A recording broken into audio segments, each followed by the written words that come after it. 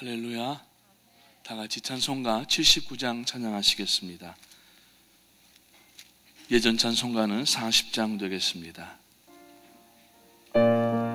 가사를 깊이 생각하시면서 찬양하시기 바랍니다.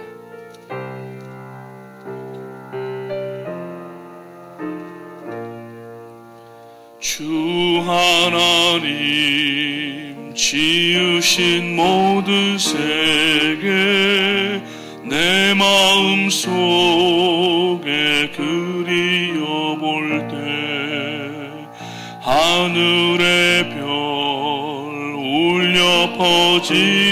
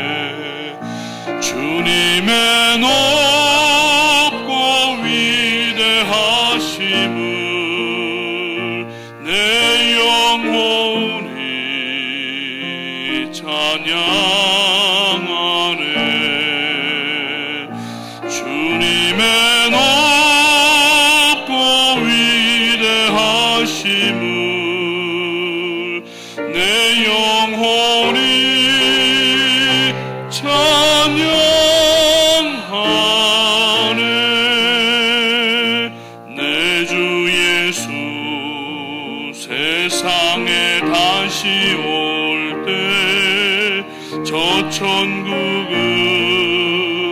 날 인도하리. 나 겸손히 엎드려 경배하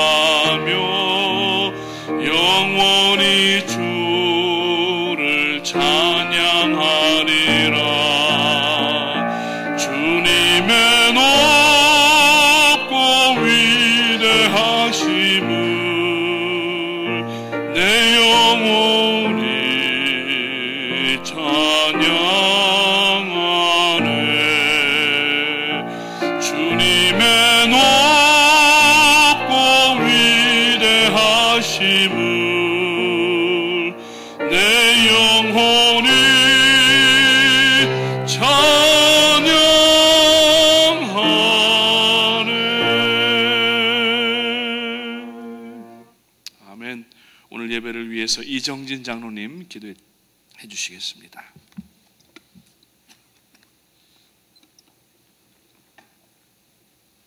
기도하겠습니다. 내가 확신하노니 사망이나 생명이나 천사들이나 권세자들이나 현재일이나 장래일이나 능력이나 높음이나 깊음이나 다른 아무 피조물이라도 우리를 우리 주 예수 그리스도 예수 안에 있는 하나님의 사랑에서 끊을 수 없느니라. 하나님 감사합니다. 우리에게 이와 같이 확신과 약속의 말씀을 주시면서 하나님께서 우리를 사랑하시고 그 안에서 우리가 넉넉히 이길 수 있겠다고 은혜를 베풀어 주심을 감사합니다. 이 새벽에도 우리 사랑하는 프라미스 교회 성도들 모여서 하나님 앞에 예배하며 특별히 이 이른 새벽에 기도하며 하나님 앞에 나올 수 있도록 축복하여 주시오니 감사합니다. 아버지 하나님, 오늘도 하나님께 드리는 이 예배를 통하여 하나님 받으실 뿐만 아니라 우리에게 한량없는 은혜의 시간이 되게 하시고 특별히 목사님을 통하여 주시는 말씀이 우리에게 오늘 하루를 살아가는 지표가 되게 하시고 능력의 말씀이 될 수 있도록 은혜를 베풀어 주시옵소서. 하나님, 우리 교회를 통하여서 크신 일들을 많이 이루어 주심을 감사합니다. 하나님, 특별히 414이라고 하는 놀라운 일을 우리에게 허락하여 주시고 그 일을 우리를 통하여 이와 같이 수년 동안에 놀라운 역사를 이루어 주시오니 감사합니다. 사명감을 가지고 어저께 우리 목사님이 주신 말씀처럼 겸손하게 우리의 마음을 다하여서 우리의 생명을 다하여서 이 사명을 감당해 나갈 수 있도록 축복하여 주시옵소서.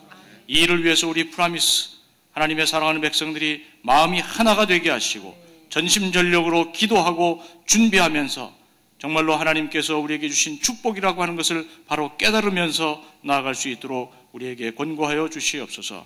또한 하나님 앞에 간절히 기도하고 기도하기는 우리 앞장서서 일하시는 우리 김남수 목사님 이하 모든 사랑하는 교육자들과 또 우리 온 교우들이 하나님 아버지시여 이 일을 위하여서 어떤 일을 결정하고 나아가든지 한 마음으로 나아갈 수 있는 은혜를 주시옵소서.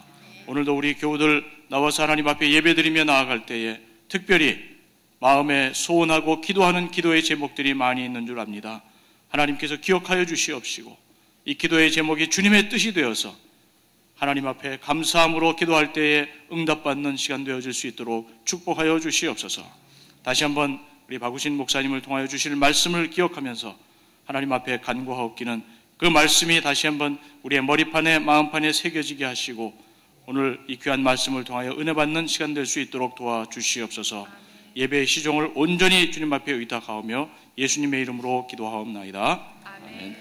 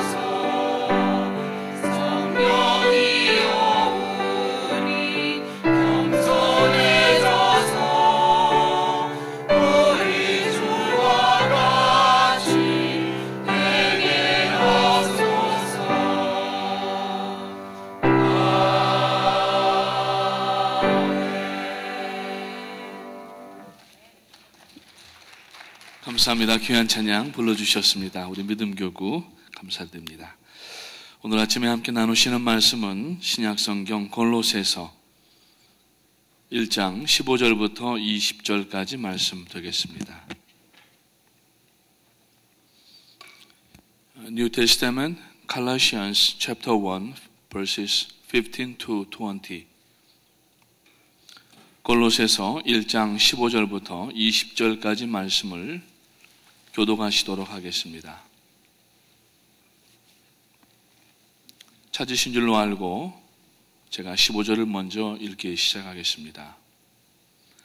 그는 보이지 아니하는 하나님의 형상이시요 모든 피조물보다 먼저 나신 이시니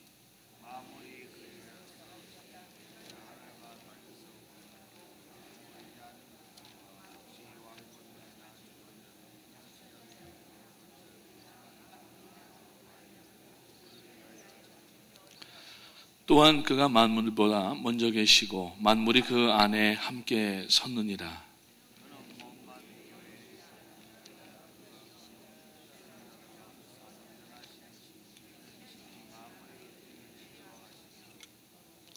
아버지께서는 모든 충만으로 예수 안에 거하게 하시고 그의 십자가의 피로 화평을 이루사 만물 곧 땅에 있는 것들이나 하늘에 있는 것들이 그로 말미암아 자기와 화목하게 되기를 기뻐하십니다.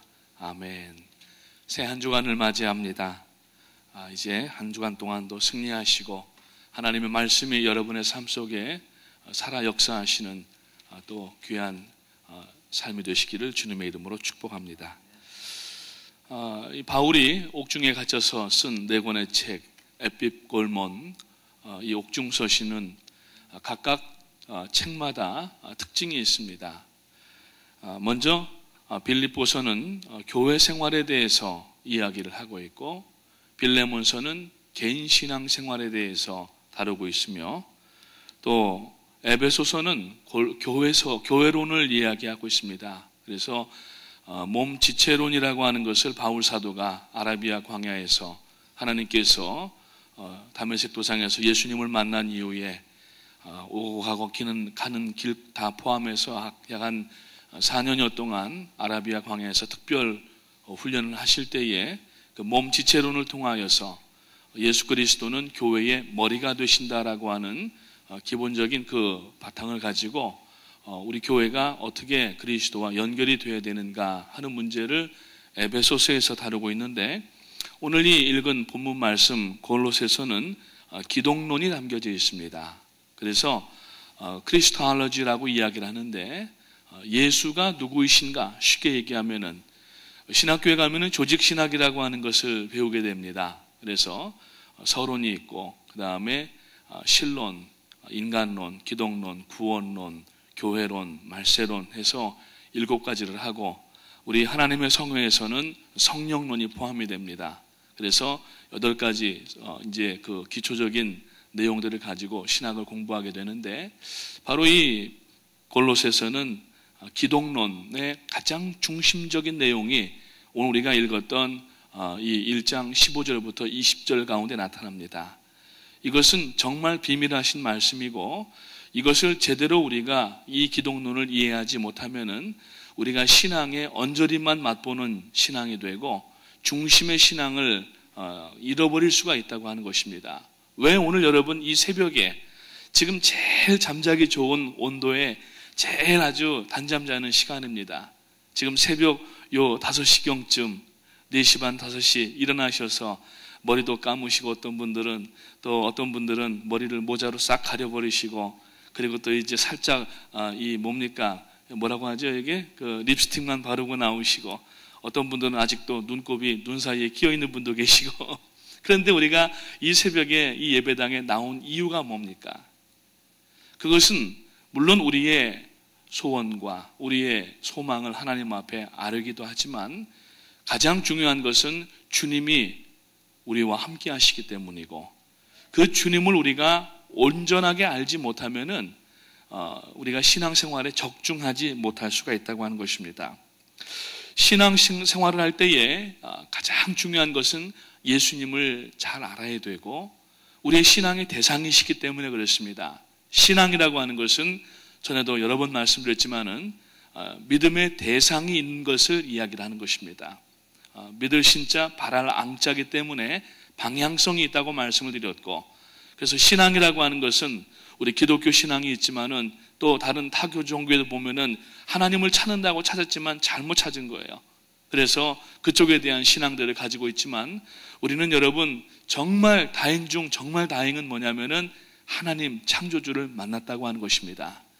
그리고 오늘 우리가 섬기는 예수님은 그 하나님이셨고 그래서 우리가 이 기독론을 올바로 이해하지 못하면은 신앙을 적중하지 못하고 과녁에다가 양궁을 하는 걸 보면은 이제 뭐 사격을 하든지 그 화살 시위를 당겨서 활을 쏘게 되는데 그 활을 쏠 때에 그 맨 아래에 있는 여러분 타겟 가보시면은 타겟 그 마크가 있지 않습니까? 그런 것처럼 여러 개의 이렇게 원이 있는데 가장 중앙에 있는 것을 우리가 적중한다고 얘기를 하는 겁니다. 헬라어에서 죄라고 하는 말을 하말티아라고 하는 말을 쓰는데 그 하말티아라고 하는 말은 적중하지 못했다라는 얘기예요. 신앙생활도 우리가 예수 그리스도를 바로 알고 주님이 누구신가를 알고 주님이 원하시는 것을 하게 되면은 우리가 신앙생활에 적중할 수가 있지만 물론 주님을 믿고 신하여서 구원을 얻었지만은 자기 소견에 옳은 대로 행하고 주님을 정확하게 이해하지 못하면은 자꾸 언저리에다가만 우리가 화살을 쏘게 되는 겁니다. 그러면 결국에 적중하지 못하게 되면은 어, 여러분 우리가 어, 올바른 신앙이 되지 않을 수가 있다고 하는 것입니다. 그래서 빌립보서 2장에서 바울 사도는 너희는 항상 두렵고 떨리는 마음으로 너희의 구원을 이루라고 말씀을 하고 있는 이유가 바로 거기 있다고 하는 것입니다. 예전에 한국에서 주일학교 전도사 시절에 이제 아이들 예배 맞추고 뭐그 어, 분반 공부도 하고 특별 활동도 하고 하지 않습니까? 그때 어떤 선생님이 아이들 보고 예, 아, 하나님을 그려보라고 예수님이 아니고 하나님을 그려보라고 그랬어요. 그랬더니 그 아이들이 이제 저학년부터 고학년까지 그림을 그리는데 그때 참 인상적이었던 것은 저학년인 아이들일수록 아주 구체적으로 사람의 모습을 그립니다. 어떤 아이들은 산신령 같은 그러한 그 하나님 모습을 그리고 수염까지 이렇게 나고 지팡이까지 쥐고 계신 하나님의 모습을 그리는가 하면은 어떤 아이들은 뭐 아버지 모습처럼 그리는 아이도 있고 근데 그 고학년으로 올라갈수록 아이들이 하나님이라고 하는 그 컨셉에 대해서 굉장히 그리는 것을 주저하는 것을 볼 수가 있어요. 어떤 아이는 그림을 못 그리는 것을 볼 수가 있어요. 왜? 하나님은 그래도 고학년으로 올라갈수록 눈에 보이지 아니하시는 영이신 하나님이심을 또 들었기 때문에 하나님은 형상이 없으신 분이시기 때문에 하나님을 그리라니까 어떤 아이들은 백지로 낸 아이들도 있었습니다. 오늘 우리가 신앙생활을 할 때 바로 이 부분에 있어서 우리가 한번 생각을 해봐야 될 필요가 있습니다. 분명히 성경에서는 하나님은 보이지 아니하시는 하나님이시라고 말씀합니다. 그런데도 불구하고 우리가 신앙생활을 하고 물론 이 초기 신앙 처음 초신자 그러니까 새신자가 아니고 초신자 요새는 교회들이 많다가 보니까 이 수평 이동하는 성도들이 많이 있습니다. 그러니까 교회마다 초신자 교육이 아니라 새신자 교육을 하고 있고 새신자는 물론 어떤 다른 교회에 다니다가 오신 분들이 있다는 얘기예요. 근데 초신자일 경우에는 사람들이 자꾸 하나님에 대한 형상을 그리려고 하는 것입니다. 뿐만 아니라 어떤 분들은 신앙생활이 오래됐지만은 그래도 고난당하고 힘들고 눈물 나고 어려울 때, 병들었을 때 자꾸 하나님 한 번만 보여주시면은 제가 마음에 확신을 가질 수 있을 것 같고 하나님 한 번만 볼 수 있으면은 내 병이 완전히 나을 것 같고 하나님 한 번만 보면은 이 환란과 고통도 넉넉히 거뜬히 이겨나갈 수가 있을 것 같은데 그러면서 하나님을 보여달라고 하는 그러한 어, 유치한 신앙이지만은 유치원적 신앙을 가질 때가 있습니다. 왜? 우리는 사람이기 때문에. 연약하기 때문에 그러한 단계를 우리가 종종 들어갔다 나왔다 할 수가 있다는 얘기입니다. 오늘 이 말씀으로 어, 설교를 시작하는 이유는 무엇인가 하면은 이미 초대교회 때에도 성도들이 그러했던 모습들이 성경에 보이고 있다는 얘기예요.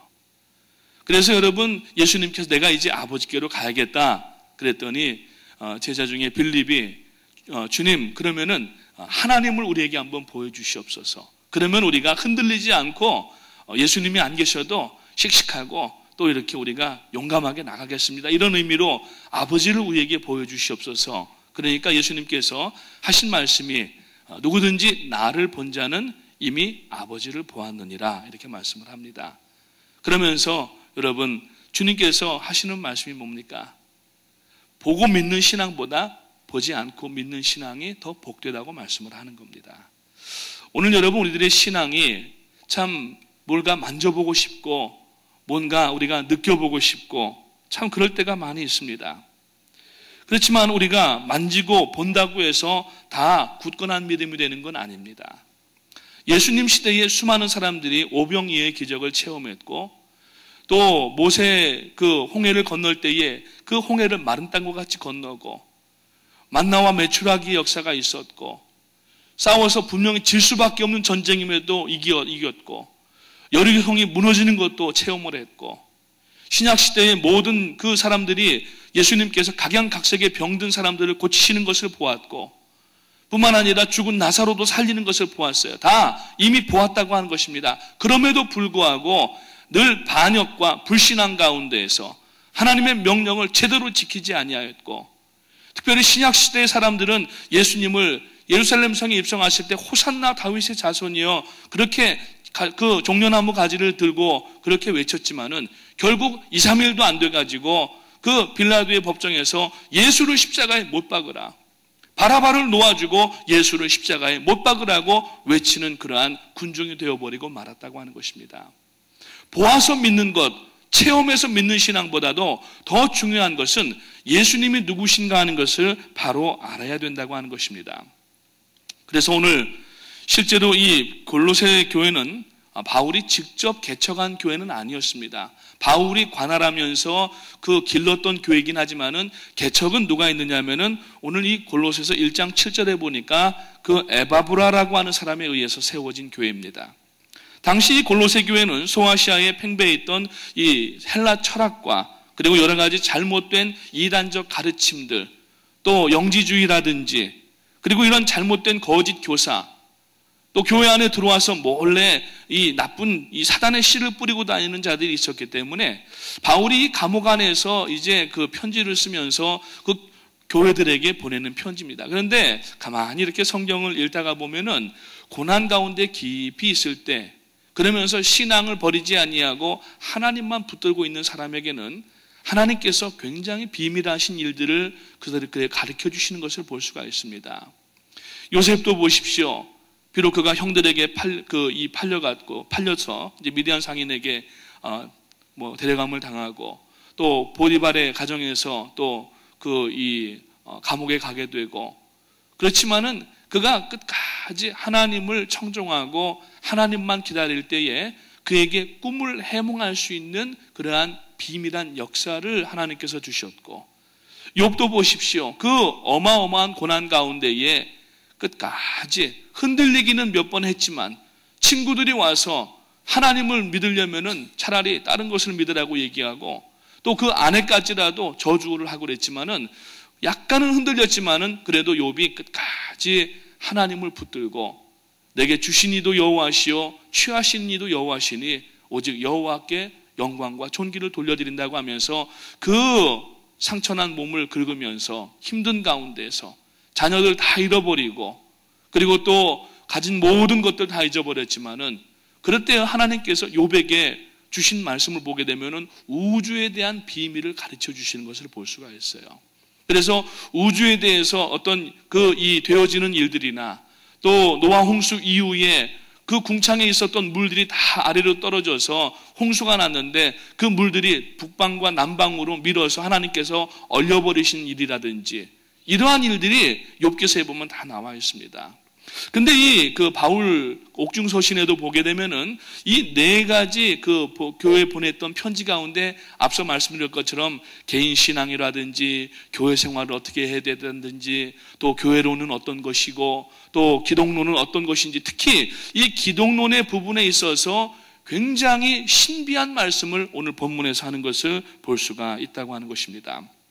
먼저 오늘 이 15절에 있는 말씀을 보니까 그는 보이지 아니하는 하나님의 형상이시요 모든 피조물보다 먼저 나신이라고 선언을 합니다. 자, 즉 예수 그리스도를 통해서 하나님 자신을 세상 가운데 보여주셨다고 하는 말씀인데 복음서를 읽다가 보면은 그 안에 나타난 그리스도의 삶과 그리스도의 사역과 고난과 죽음과 부활을 통하여서 우리는 보이지 아니하는 하나님의 능력을 실제로 보게 된다고 하는 것입니다. 보이지 아니하시는 하나님이시지만 실제 역사하시고 실제 가시적으로 이 현상들이 나타나는 것을 우리가 볼 수가 있다고 하는 것입니다. 마찬가지로 고린도 후서 4장 4절의 말씀해 보니까 바울 사도가 뭐라고 고백하냐면은 그는 그리스도를 말씀하는 것인데 그는 보이지 아니하는 하나님의 형상이시라고 말씀을 하고 있습니다. 형상이라고 하는 것이 무엇입니까? 이미지입니다. 창세기에도 보면은 하나님께서 자, 우리의 형상으로 사람들을 만들자고 말씀을 하십니다. The image of God. 하나님의 형상으로 우리를 만드셨어요. 그래서 예수님께서도 하나님이시지만 사람의 모습을 입고 형상을 입고 이 땅 가운데 우리 죄인들을 구원하시기 위하여서 그 높은 보좌를 다 버리시고 겸손 가운데에서 우리 가운데 내려오셔서 오히려 어제 우리 담임 목사님 말씀해 주신 것처럼 종의 형체를 입으시고 그리고 허리에 수건을 두르시고 무릎을 꿇고 이거는 헬라 지방에서 그 근동 지방에서 주인이 밖에 나갔다 오면은 당연히 종이 대에다가 물을 담아서 발을 씻기는 그 자세를 예수님이 직접 취하셨다는 얘기입니다. 그러시면서 예수님께서 사람을 섬기셨어요. 오늘 우리가 바로 이 부분에 있어서 하나님께서 사람이 되시고 사람이 되셔서 이 땅에 오셔서 하신 그 일을 우리에게 남기셨다고 하면은 이제 그 주님의 제자가 되기를 원하고 하나님의 자녀가 된 우리가 해야 될 일이 무엇이냐면은 바로 주님께서 이 땅 가운데 현상적으로 보여주신 일들을 우리가 해야 된다는 얘기입니다. 그래서 여러분, 아까도 말씀드렸지만 빌리바, 나를 본 자는 이미 아버지를 보았거든, 보았건을 어찌하여 나더러 아버지를 보이라 하느냐. 그렇게 말씀을 하시고 계시는 것입니다. 우리도 빌립처럼 하나님을 보여달라고 때를 씁니다. 그리고 하나님을 보아야만 믿겠다고 어떤 사람들은 얘기하고 눈에 보이지 않으니까 하나님은 없다고 하면서 하나님을 믿지 않는 무신론자도 생겼고 사실 무신론이라고 하는 것은 여러분 하나님이 안 계시기 때문에 무신론이 나오는 것이 아닙니다. 성경을 읽다가 성경에서 죄가 나오고 이 죄가 누구에게든지 있고 이 죄는 반드시 예수 그리스도에게만 나가서 그 피를 의지할 때 처치될 수 있는 특성을 가지고 있는 것을 발견한 이후에 주님 앞에 무릎을 꿇기를 원하지 않기 때문에 자기 죄를 부인하게 되고 죄를 규정하는 하나님을 없다고 얘기를 하는 겁니다. 그래서 에이티스트들이 나오는 겁니다. 하나님을 반대하는 이유가 거기 있는 겁니다. 무신론자들이 아무리 무신론을 주장하여도 하나님이 계시지 않는 것이 아닙니다. 하나님은 지금도 살아계시고 역사하시는 하나님이십니다. 요한일서 1장 1절에 보니까 태초부터 있는 생명의 말씀에 관하여는 우리가 들은 바요, 눈으로 본 바요, 자세히 보고 우리의 손으로 만진 바가 되었다고 말씀을 하고 있습니다. 그렇기 때문에 우리가 신앙생활 하면서 꼭 어떤 감각적으로 오감을 통하여서 듣는 거나 보는 거나 냄새 맡는 거나 맛보는 거나 만지는 거나 느끼는 것 때문에 우리가 하나님이 계시는 것을 알아야 된다고 하면은 아직까지 온전한 신앙이라고 할 수가 없다는 얘기예요. 우리가 하나님을 알 수 있는 것은 오직 말씀으로 인하여서 이 말씀이 우리 안에 들어갈 때에 우리 안에 예수 그리스도 영접한 성도들에게 있는 성령께서 이 말씀으로 인하여서 기뻐하게 하시고 해석해 주시고 깨닫게 하시고 삶 가운데 기억나게 하시고 모든 세상의 죄악을 이길 수 있는 그 능력을 바로 우리 안에 계시는 성령께서 말씀을 통하여서 주실 때에 깨닫게 하실 때에 그것으로 인하여서 하나님이 계신 것을 이미 요한 사도는 태초부터 있는 말씀에 관하여 들은 바는 우리가 들은 바요 눈으로 본 바요 자세히 보고 손으로 만진 바가 되었다라고 그렇게 이야기를 하고 있다고 하는 것입니다. 자, 그러면은 오늘 우리가 예수를 믿는 이 기독론 예수가 누구신가? 무엇을 우리가 믿어야 되는가? 그냥 하나님의 아들이시기 때문에 이 땅에 오신 그 문제뿐만이 아니라는 얘기입니다. 오늘 본문이 15절은 말씀처럼 보이지 아니하는 하나님의 형상이 어떻게 우리에게 나타나실 수가 있는가? 이것이 이해가 되냐는 겁니다. 본문은 보이지 아니하는 하나님께서 이 땅에 나타나시는 두 가지 방법을 분명하게 지금 제시를 하고 있는데 하나는 창조의 사건과 하나는 구속의 사건 두 가지입니다. 그래서 오늘 1장 16절 17절에 보니까 만물이 그에게서 창조되되 하늘과 땅에서 보이는 것들과 보이지 않는 것들과 혹은 보좌들이나 주관자들이나 정사들이나 권세들이나 만물이 다 그로 말미암고 그를 위하여 창조되었고 또한 그가 만물보다 먼저 계시고 만물이 그 안에 함께 섰느니라고 말씀을 하고 있어요. 이게 굉장히 어려운 말입니다. 예수 그리스도께서 우주의 중심이 되신다는 말씀이고 모든 만물이 예수 그리스도께로부터 나왔기 때문에 모든 만물은 예수 그리스도로 인하여 존재의 목적을 가지게 되는 것이고 예수 그리스도가 계시지 않으면 존재의 이유가 없다는 얘기입니다. 병행구절이 되는 에베소서 1장 22절과 23절 말씀을 보게 되면은 또 만물은 그의 발 아래 복종하게 하시고 그를 만물 위에 교회의 머리로 삼으셨느니라. 교회는 그의 몸이니 만물 안에서 만물을 충만하게 하시는 이에 충만하십니다. 거기 보니까 만물을 그의 발 아래 복종하게 하시고 모든 만물들을 교회의 머리로 뭐 교회 만물들의 머리가 교회가 되었다고 얘기를 합니다. 그러니까 사실 교회가 여러분 모든 세상의 중심이 되는 것이고 그 중심이 되는 교회의 머리가 누구시냐면은 예수 그리스도가 되신다는 얘기입니다. 그래서 16절과 17절을 통하여서 나타나신 그 말씀을 보게 되면은 특별히 예수 그리스도께서 만물보다 먼저 계셔서 하나님의 창조 사역을 함께 감당하신 동일하신 한 하나님이시라는 얘기입니다. 그리고 18절에 뭐라고 나오냐면은 그 18절 말씀해 보니까 그는 어 몸인 교회의 머리시라. 그가 근본이시요 죽은 자들 가운데서 먼저 나신 이시니 이는 친히 만물의 으뜸이 되려 하심이요 이렇게 말씀을 하고 있어요. 자 여기서 보는 이 구속에 관한 이야기가 나오는 것인데 자두 창조와 구속의 역사 가운데에서 목적은 하나님께서 역사 가운데 현현해 주시고 그 목적은 우리의 인생들을 구원하셔서 영생 가운데 들이시는 목적이 바로 창조와 구속의 목적이라고 하는 것입니다. 그래서 여러분 시편 기자는 시편 19편에서 이렇게 하나님 앞에 찬양을 하는데 지으신 만물을 볼 때 우리는 창조주 하나님의 위험을 경험하며 위험이 아니라 위엄입니다. 정밀하고 세밀한 하나님의 운행하심과 하나님의 말씀을 통하여서 우리는 하나님이 누구신지를 알 수 있게 된다고 하는 내용의 시편 19편을 써서 찬송하고 있는 것을 볼 수가 있습니다. 오늘 우리가 찬송을 79장을 불렀습니다. 주 하나님 지으신 모든 세계 내 마음속에 그려볼 때.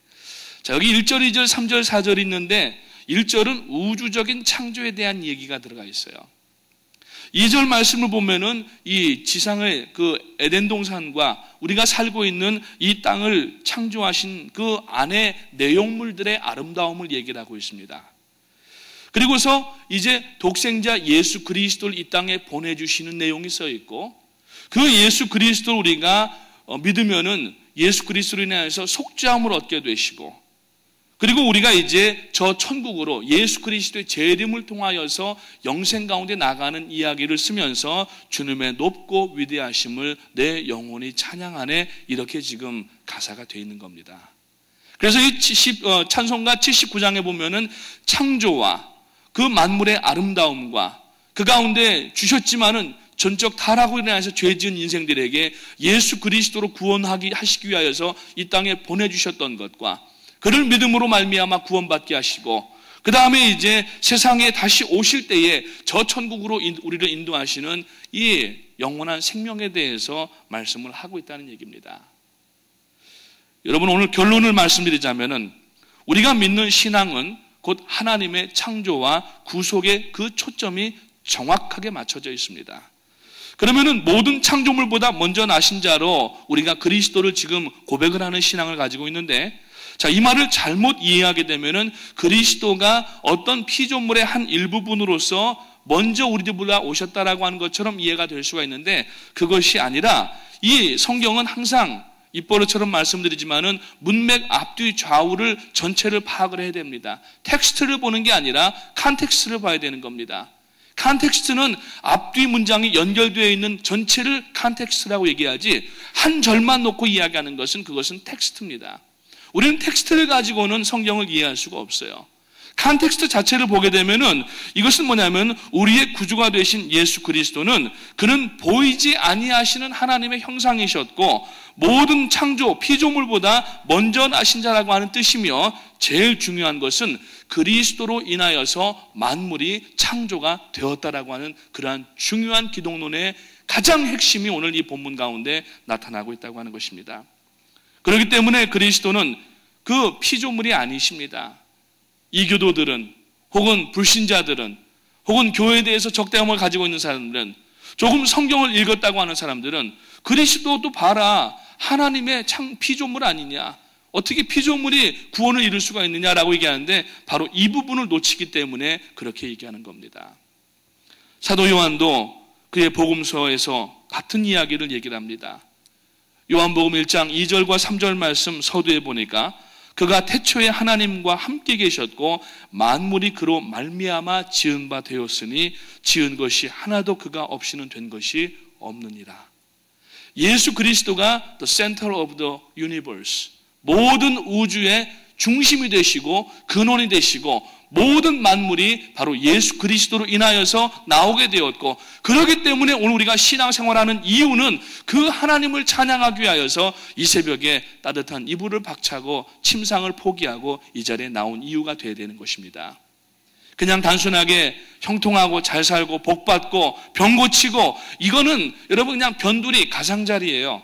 이거는 비본질입니다. 본질은 뭐냐면은 하나님을 섬기는데 예수 그리스도를 섬기는데 그 주님이 바로 우리에게 모든 근원이 되시고 원인이 되시고 나뿐만 아니라 나와 당신과 온 우주와 만물의 중심이 되셔서 그 안에서부터 모든 것이 나왔기 때문에 그 우리의 근원이 되시는 예수 그리스도를 찬양하기 위하여서 이 아침에 나오고 이것이 바로 우리의 신앙의 핵심 중심이 되고 이것을 알리기 위하여서 우리가 복음 전파하는 사역을 감당해야 된다는 얘기입니다.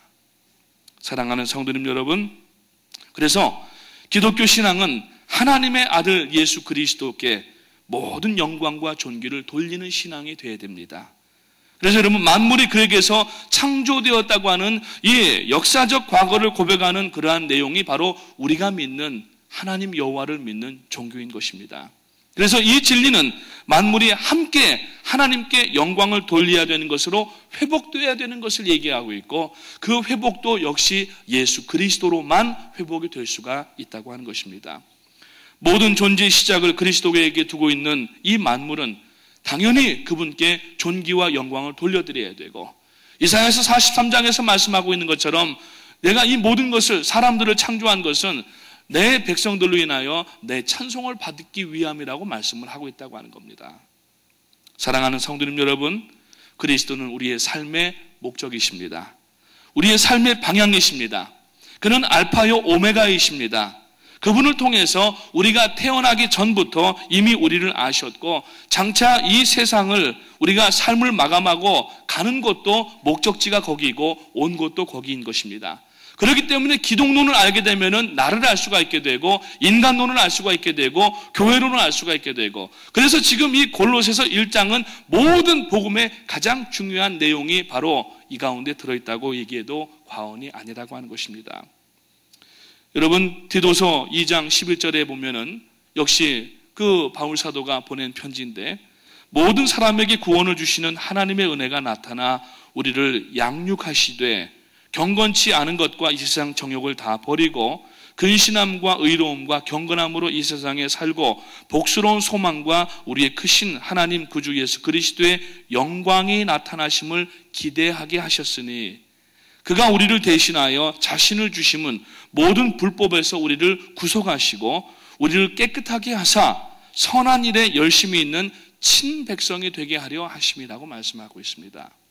그래서 오늘 우리가 믿는 예수 그리스도는 우리 모두의 창조주시오. 지금도 살아계셔서 역사하시는 하나님이시고 우리의 삶을 지탱하게 하시는 생명 보존의 원리가 되시는 분이시고 우리의 삶의 목적이 되시는 분이시고 그렇기 때문에 오늘 당연히 우리는 이미 특별히 구원받은 자들로서 그 이름을 날마다 순간마다 찬송하고 영광 돌리고 아무리 이 땅에서 안 되고 어렵고 힘들어도 구원받은 그것 하나 때문에 이 진리를 안 것 하나 때문에 오늘 우리가 모든 것을 포기하고서라도 주님을 붙잡고 나가야 되는 그러한 신앙의 당위성을 갖는다고 하는 것입니다. 이것이 바로 신앙의 본질이요. 이것이 바로 복입니다. 복 받고 잘 살고 병 고치고 형통하는 것 그것도 어쩌면은 복음 안에 들어 있는 그 이 약속입니다만 그것은 어떻게 보면은 비본질적인 문제예요.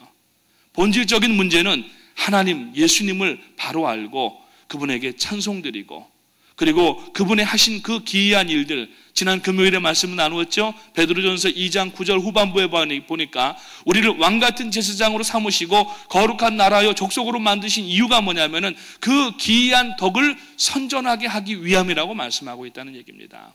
사랑하는 성도님 여러분, 이 목적을 가지고 오늘도 성전문을 나가셔서 여러분의 삶의 현장으로 나가시고 오늘도 이 말씀을 들고 나갈 때에 하나님께서 지키시고 인도하시고 능력 주시고 복 주시는 역사가 나타나게 되시기를 주님의 이름으로 축원합니다. 기도하겠습니다.